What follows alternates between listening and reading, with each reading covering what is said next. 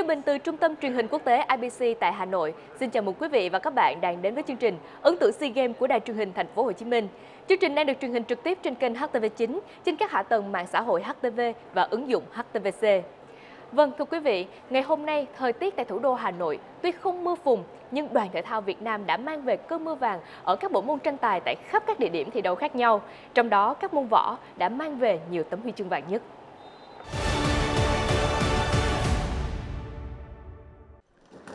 Sau 9 hiệp đấu, với phong độ ổn định và chiến thuật hợp lý, Vũ Thành An và đồng đội đã giành chiến thắng với điểm số 45-28. Đây là huy chương vàng đồng đội đầu tiên và là huy chương vàng thứ tư tại SEA Games 31 của các ứng thủ Việt Nam. Trong khi đó, các võ sĩ Bencasilat Việt Nam cũng đã kết thúc ngày thi đấu cuối cùng rất thành công tại SEA Games 31. Trong 6 trận chung kết của đại diện, Bencasilat Việt Nam giành 5 huy chương vàng.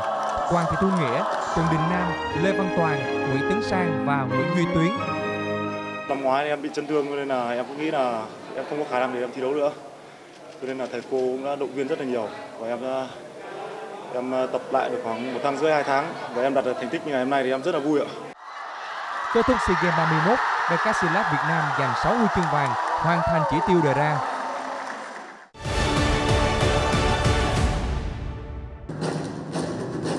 Bởi trong bài quyền biểu diễn sáng tạo đồng đội, bên cạnh các động tác bắt buộc như đá bay ngang, bổ đà, đá bay trên không, tính sáng tạo là không giới hạn. Bên cạnh đó, nhịp điệu và tính đồng bộ khi năm vận động viên cùng thực hiện chuỗi động tác khó chính là yếu tố phân biệt giữa ứng viên huy chương vàng và phần còn lại. Võ sĩ Châu Tuyết Vân với bản lĩnh và kinh nghiệm của mình đã cho thấy khả năng cầm nhịp, cùng đồng đội tạo ra bài thi gây ấn tượng với ban giám khảo. Những cái động tác uh, nó mang một cái ý nghĩa khi mà kết bài thì ờ, Vân và đồng đội có một một cái động tác là đặt tay lên ngực của mình uh, với mong muốn là mình sẽ chiến đấu hết mình vì màu cờ sắc áo và chiến thắng được uh, tại sân chủ nhà của mình. Hoa khôi làng võ Việt có lần thứ năm liên tiếp giành huy chương vàng SEA Games. Đầu xuôi đuôi lọt, khởi đầu ấn tượng của đội quyền sáng tạo mở ra ngày vàng cho Taekwondo Việt Nam. Lần lượt đội quyền tiêu chuẩn đồng đội nam, quyền tiêu chuẩn đồng đội nữ và Phạm Quốc Việt nội dung quyền tiêu chuẩn cá nhân nam mang về thêm những tấm huy chương vàng. Ngày ra quân thành công được đỡ của đội tuyển Taekwondo Việt Nam khi giành 4 trên 5 huy chương vàng, vượt chỉ tiêu đề ra.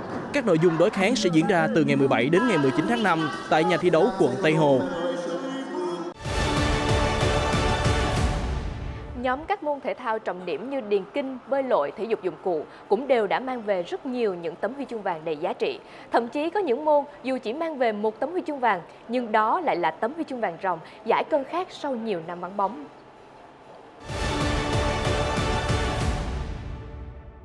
Thưa quý vị, như vậy là sau một ngày chờ đợi thì cuối cùng bắn súng Việt Nam đã giành được tấm huy chương vàng. Có thể nói là một tấm huy chương mà còn quý hơn vàng bởi vì từ SEA Games năm 2017 tới bây giờ thì bắn súng Việt Nam chưa giành được một huy chương vàng ở SEA Games và xạ thủ Hà Minh Thành đã làm được điều đó. Đây là một chiến thắng hết sức nghẹt thở khi 6 xạ thủ bước vào vòng chung kết nội dung 25m súng ngắn bắn nhanh nam đều là những tên tuổi kỳ cựu. Kết quả, Hà Minh Thành đã giành chiến thắng chung cuộc với 27 lần bắn trúng hồng tâm trong tổng số 40 viên, hơn người về thứ hai chỉ hai lần. Em rất là vui, không có gì tả nổi là mình cũng à, đã cố gắng hết sức.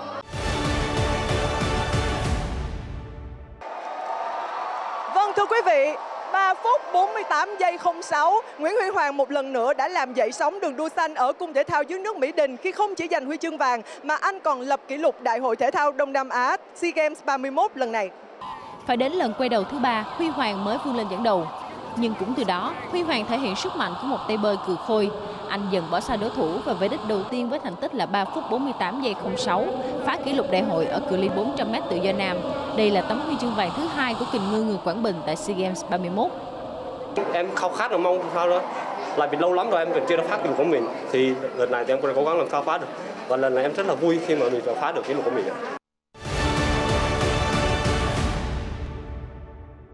vị, các nội dung tranh tài cuối cùng của môn thể dục dụng cụ ở kỳ SEA Games 31 đã diễn ra tại nhà thi đấu quần ngựa Hà Nội vào chiều nay với niềm kỳ vọng vàng lớn nhất được đặt lên vai Lê Thanh Tùng và Đinh Phương Thành.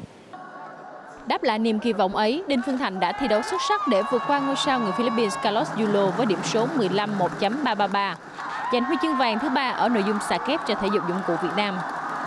Ở nội dung được kỳ vọng xà đơn, Đinh Phương Thành đồng huy chương vàng với vận động viên người Philippines Carlos Yulo 13 điểm 867, Lê Thanh Tùng đạt huy chương đồng. Trước đó, vận động viên Lê Thanh Tùng thi đấu không thành công ở nội dung sở trường là nhảy chống. Thật sự đây là thành công ngoài mong đợi bởi vì trước khi thi đấu đối thủ thực sự là rất là mạnh và Thành cũng đã cảm giác gần như là không thể vượt qua được. Nhưng mà thực sự là có các thầy động viên cổ vũ và đã cho Thành thật sự là được một sự bộc phá Đội tuyển nữ thể dục dụng cụ có thêm hai huy chương đồng ở các nội dung cầu thăng bằng và thể dục tự do của vận động viên Phạm Như Phương.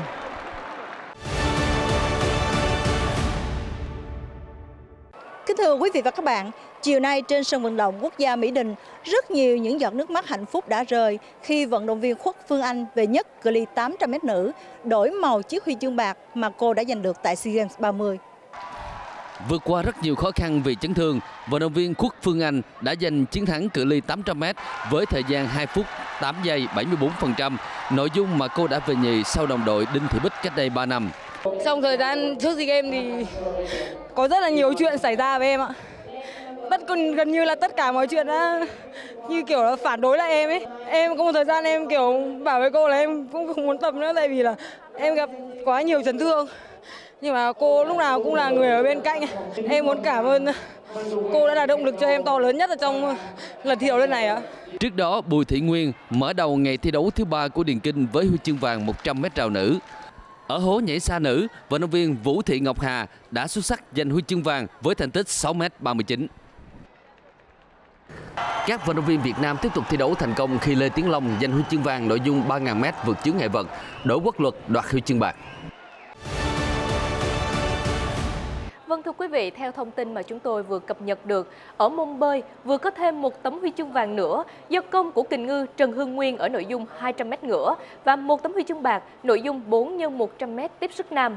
Và tiếp theo, chúng tôi xin mời quý vị, chúng ta sẽ cùng đến với những thông tin cập nhật của nhóm phóng viên ekip HTV tại Quảng Ninh.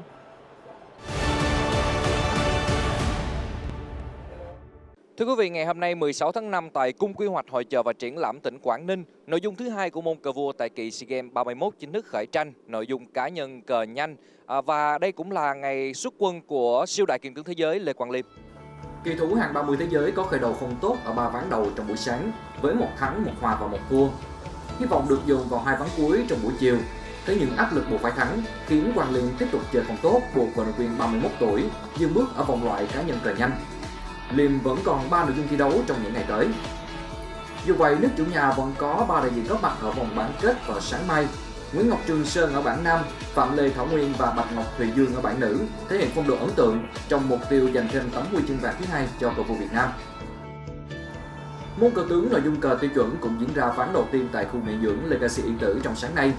Đặng Cửu Tùng Lân, Vũ Quốc Đạt góp mặt ở bảng nam, còn Nguyễn Hoàng Yến, Lê Thị Kim Loan ở bảng nữ Thi đấu thể thức 7 ván, các cầu thủ Việt Nam đặt mục tiêu giành thêm ít nhất một tấm huy chương vàng sau khi đã giành vị trí cao nhất ở hai nội dung đồng đội cờ nhanh và cờ chớp.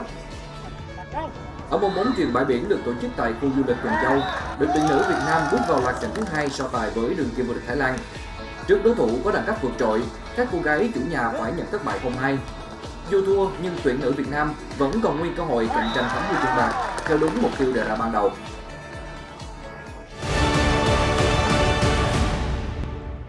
Vị, ngoài yếu tố chuyên môn, công tác tổ chức thì khán giả là một trong những điều vô cùng ấn tượng mà nước chủ nhà đã mang đến với bạn bè quốc tế tại kỳ đại hội lần này. Và đặc biệt là trong những ngày vừa qua, dù cho thời tiết tại Hà Nội có đôi lúc thất thường, thế nhưng tấm lòng nhiệt thành của người dân thủ đô Hà Nội thì luôn ổn định.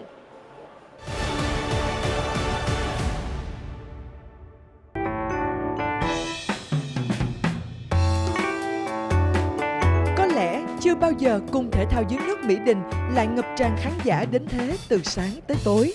Bơi lội là môn thể thao phổ biến với người dân Việt Nam và đội tuyển quốc gia cũng đã có được thành tích rất tốt tại các kỳ SEA Games, nên khán giả lại càng cổ vũ cuồng nhiệt.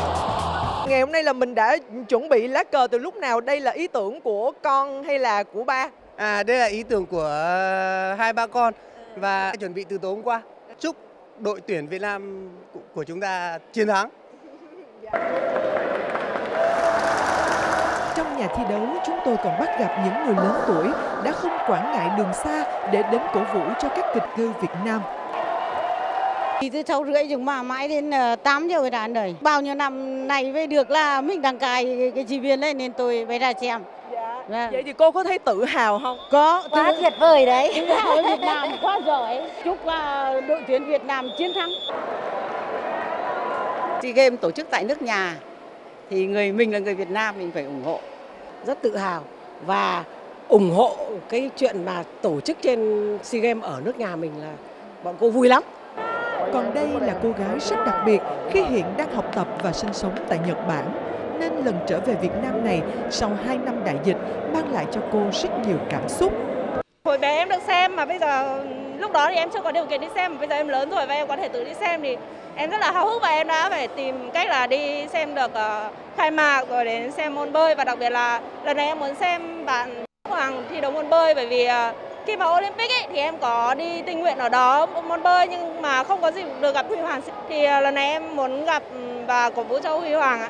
Trong ánh mắt của em cũng ánh lên một cái niềm xúc động. Vì sao em lại xúc động như vậy? À, em cũng không biết nhưng mà em thấy xúc động nói chung là em em thấy là hãnh diện vì SEA Games đã tổ chức ở Việt Nam SEA Games vẫn còn tiếp tục diễn ra hơn một tuần chắc chắn hình ảnh khán giả cổ vũ nhiệt tình với tấm lòng chân thành, tình cảm thương yêu của khán giả thủ đô dành cho các vận động viên không chỉ của Việt Nam mà còn tất cả các vận động viên ở các quốc gia sẽ còn xuất hiện nhiều hơn nữa, trở thành một trong những niềm tự hào của Việt Nam tại kỳ SEA Games lần thứ 31.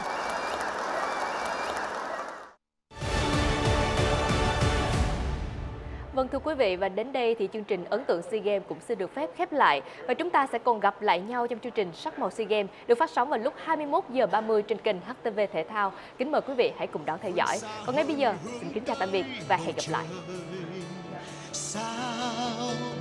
để lại nhọc dần gian lao nơi đây tôi chạm vào